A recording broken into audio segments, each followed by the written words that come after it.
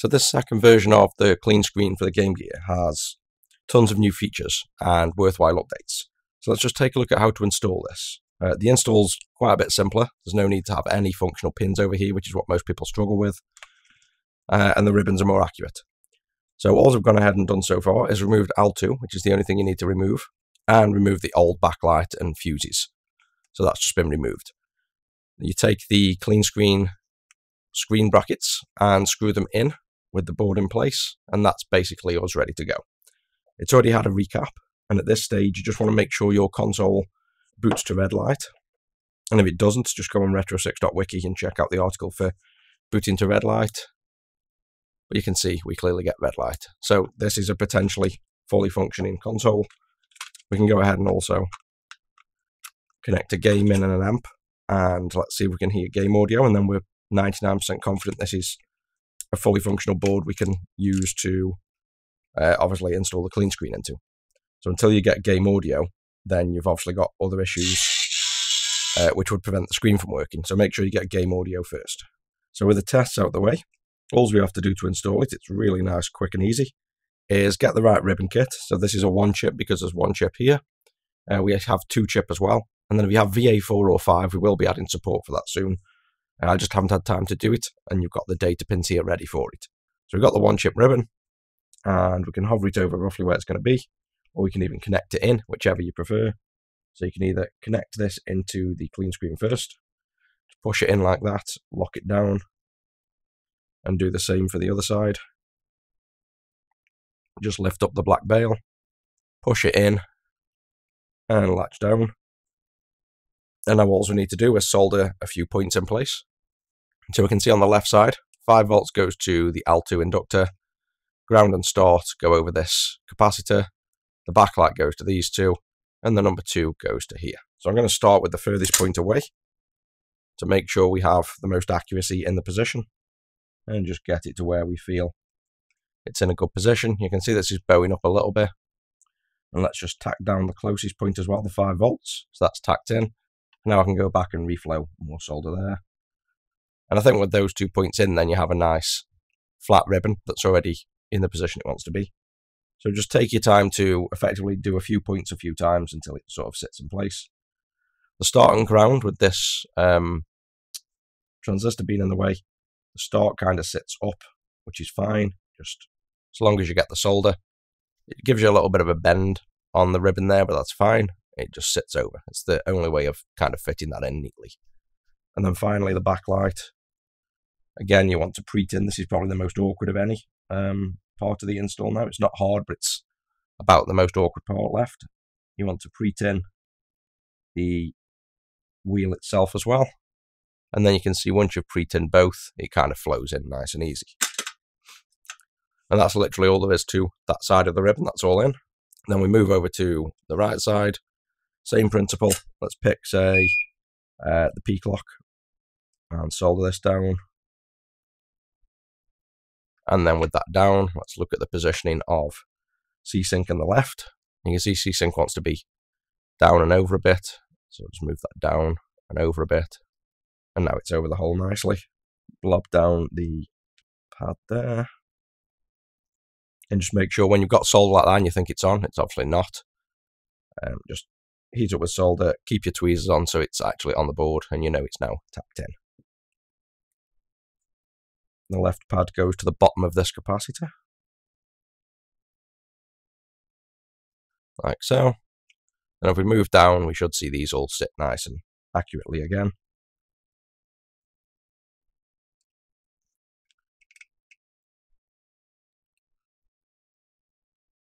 So you've got the 5 volt pin, the SMS pin, and then the T10, same thing. Just make sure you don't blob solder on the ASIC pins here. So keep your eye on this side, apply solder, and let it kind of flow in. Just make sure to check those pins after you've soldered that you haven't shorted anything there. And similarly here, when you're doing this pin here, your iron might touch down here. So if you do, add a bit of flux, get some desolder wick, and remove the extra wick, uh, and remove the extra solder, and you should be good to go. The final ones are these resistors that all line up nice and neat. So same principle, just solder both sides of the resistor.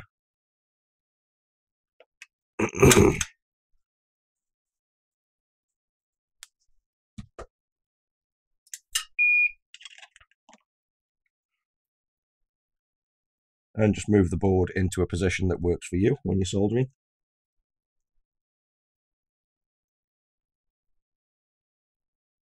So we just do a quick visual inspection and a clean up as well. Just get some IPA, clean off everywhere we've soldered.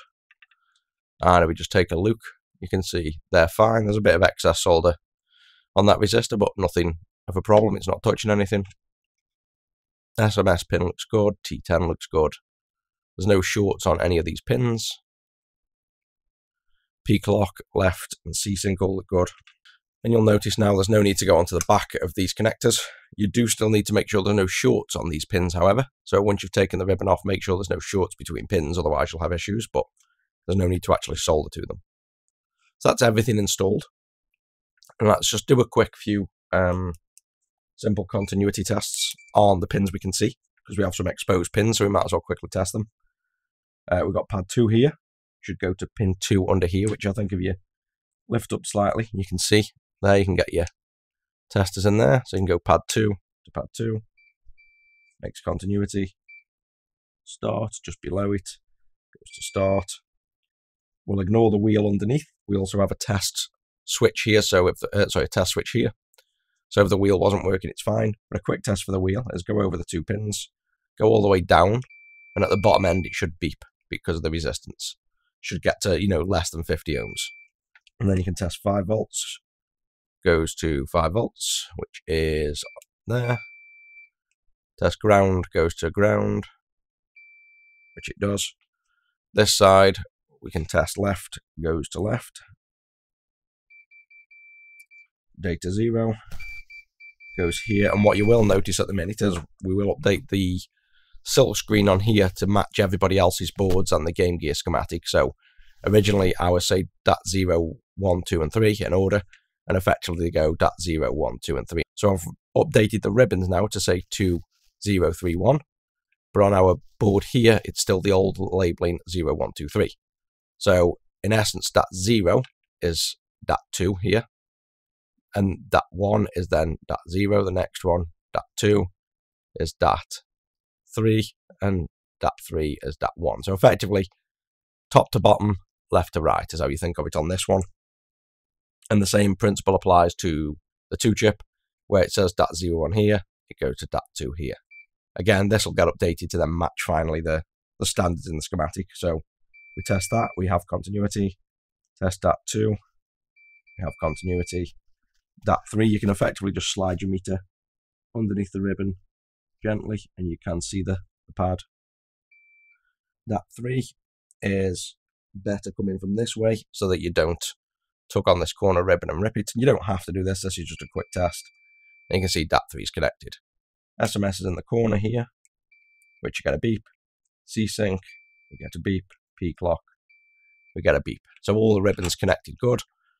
The quick check for the others is go onto a ground pad and make sure nothing's grounded. The only thing that should be grounded is the actual ground. And go this side. And this kind of checks that the ribbon itself isn't shorting internally and the only thing that should be ground is actual ground. So that's all good. So that's sort of a quick pre-check. You don't need to do that. You can just turn it on and see it working potentially, but it's good to uh, show you how to test if you do have issues as well. That's just a really quick way to test the ribbon. So with that on, there's nothing else to do but turn on. So before we connect the screen, let's just do a basic check because this board now has a load of features that will help you diagnose boot problems. If we now turn on with a clean juice, we can see, I'll just turn this light off. You can see now we have boot status LEDs. So you've got 5 volt OK in the middle, which means this 5 volt is coming into here. And then the two regulators, 1.2 volt and 3 volt, are OK as well. So you should have all three green lights. You then have a boot indicator, which means the CleanScreen code is running. So that's orange. If any of those aren't on there, we have an issue.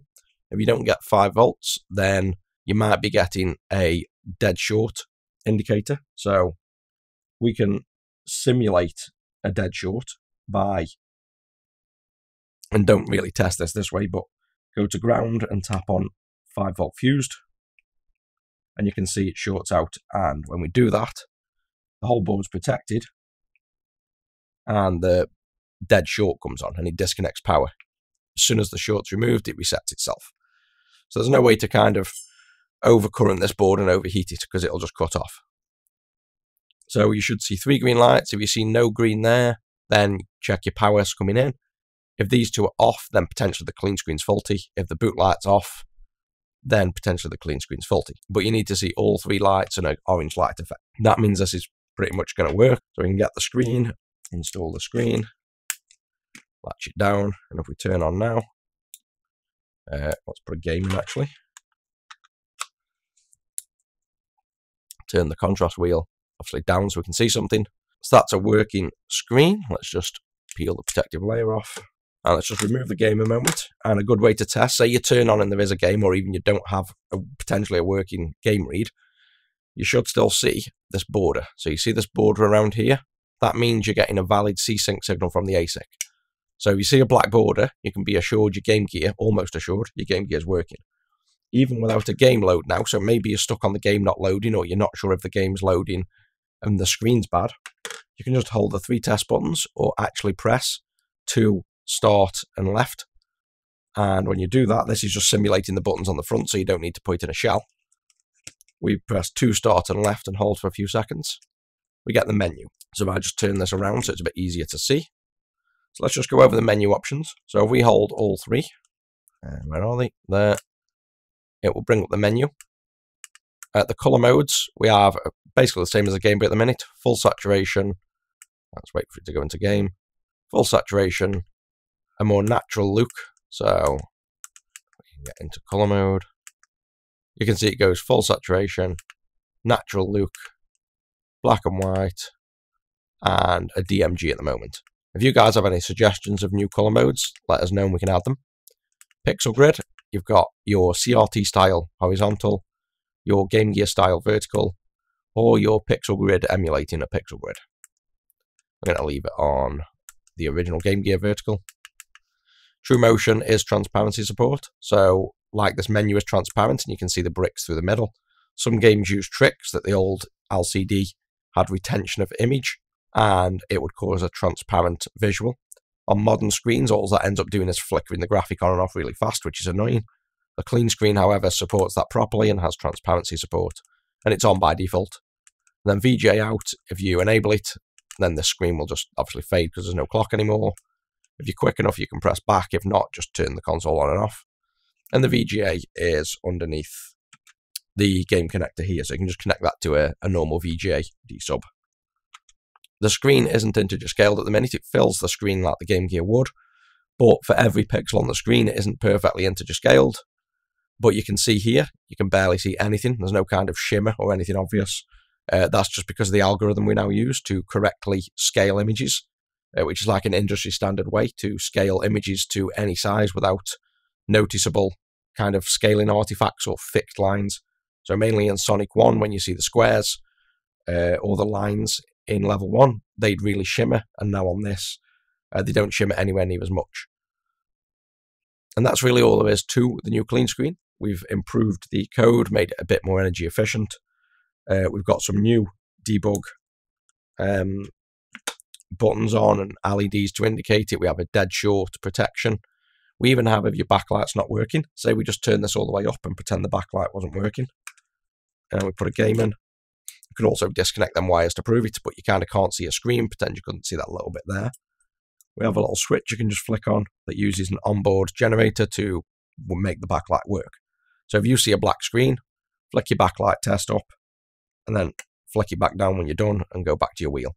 Try not to enable the wheel and the test switch because it will just over brighten the screen potentially over time. So it's just used as uh, either a test or if you are going to use it permanent, then um, make sure you disconnect the wheel.